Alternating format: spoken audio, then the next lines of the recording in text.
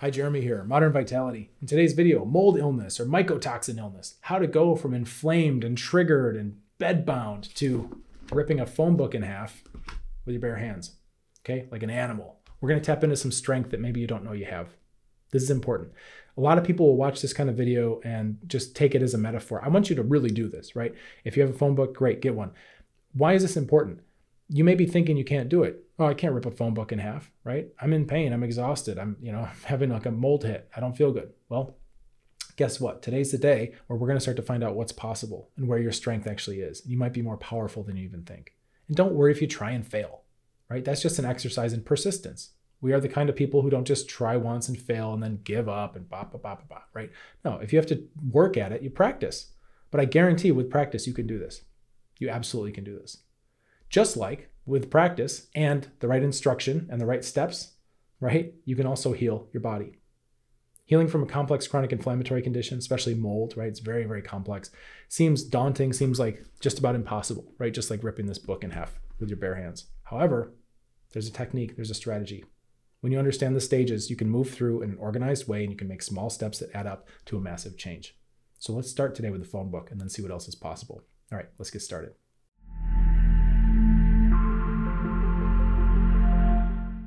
You know, these things are rare nowadays. We don't get phone books too often. I was pretty excited when one came because I've been waiting to shoot this video for a while. I think the metaphor is really appropriate and the physicality of doing this.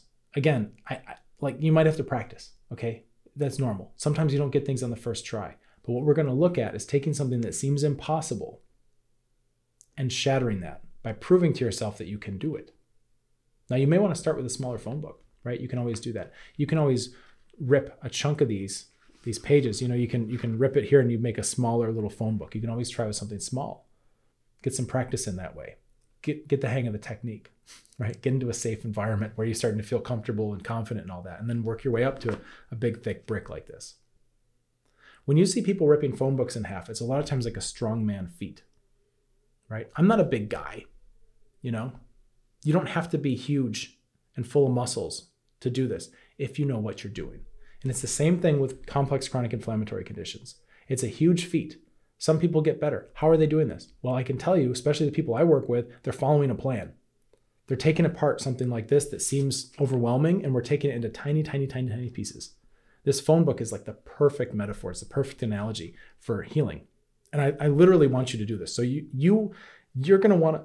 I mean, I can't make you do this, obviously, right? This is a free will planet. You're an adult. I'm just providing a perspective.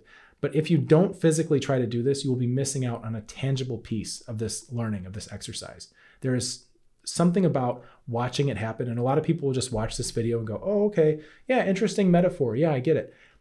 Don't be like that. Don't be the majority of people who will just watch it and think that's enough. Actually, be the minority of people who decide, I want to feel that. Where's a phone book, right? You know, you got one around somewhere somewhere, right? Or call your neighbor. You know, somebody has one. Go get a phone book and, and do it. Get your hands in there. Get get that tactile sense. You need to start to feel your own power. Our society, this is a bit of a tangent, I'll admit, but our society is so detached from a lot of things. You know, we we push buttons to get things done. Right? If you're hungry, push a button. You know, some food will arrive to your house. You know, there's so many things we just swipe and push buttons and that's it. And and we're losing some of our physical prowess, right? And, and there's there's a very satisfying, very primal thing that your brain and your spirit needs in terms of interacting with the world, right? And even if you have joint pain or something like that, you know, obviously don't hurt yourself doing this this activity. Start with a smaller chunk of a book. Start with just a few pages. That's fine, right? Don't hurt yourself, but within your capacity, within your capacity, give it a shot. And if you don't get it the first time, keep going, keep going, keep going, because we get good at what we practice. Are we practicing trying something and giving up? And that's the kind of person we start to tell ourselves we are. Or are we practicing trying something? Hmm, that didn't quite work. I'll try again. Oh, I'll try something a little bit different, right? Persistence. You need to have this. The qualities of people who get better from their illnesses, right? The, the mental traits, the spiritual traits, you can't be fragile. I give up. No, not here, right? Not if you're on this channel. You're not a give up kind of person, obviously, right? Obviously. So take that same skill set, apply it to the phone book, take, take that same skill set, apply it to any other challenge you have, including complex chronic health conditions. So I'm going to show you how to do this because these things are tough books. This one's about 450 pages thick, right? And it's a tough book. And if I try to rip it in half, nothing's going to happen, right? Because I'm not physically strong enough to just muscle through this thing. However, with the right mindset, the right technique, the right steps, it's going to come apart almost on its own. There is an easy way. We can take big problems and make them easy for ourselves. So I'm going to show you how to do that right now. So as you'll notice, there's a bunch of pages here. When they're all compressed together, this is very strong. It's very difficult to break, right? So what we have to do is actually take this thing stage by stage. And what that means is we have to develop a technique. So I'm going to hold the book with my thumbs like this, right? And I'm going to start to scrunch it together. And what I want to do is I want to get this V shape happening. You can see that. See that V, right? Now, the trick is I keep my pointer fingers pressing together, right? So I can keep it scrunched up. And then what I do is I let my thumbs spread out. And what you can see happening here, I'm going to try to get this very, very close.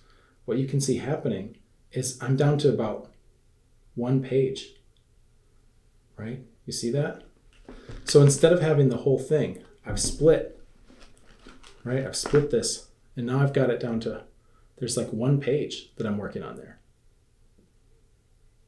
So once we get that, all I'm thinking about are my thumbs and I'm thinking about that first page. Okay. So we want to get some air between the pages. We want to let them breathe because once we start doing that, we've separated things out, we've isolated it to where we can now start to make a change. That's how you start setting this up. Now, in terms of actually breaking it, you don't want to try to pull it apart like this. You want to twist it like that. You want to separate the pages just like how you would rip a page, right? So I'm not doing, I'm not trying to just pull it apart. It's not going to work. So you can see how I've got it set up. I'm isolating out these pages by my thumbs. I'm trying to take it one page at a time, right? And what's happening is I'm creating a wave of energy that's just going through one page at a time. And once you got some progress here, you can just sh shred it, right? Because we started it with a technique where we only had to rip. All I really had to rip was this to get it going. But because I knew where to start and I knew what to do, it was this and then the next page and the next page and the next page, all 450 of them. Something that seemed insurmountable, right? And impossible. You know, trying to rip it, no way, right? No way. But if I can get it, set it up, I start isolating one page, right? One at a time, and then go from there. Fantastic. You can totally do this. You can absolutely do this.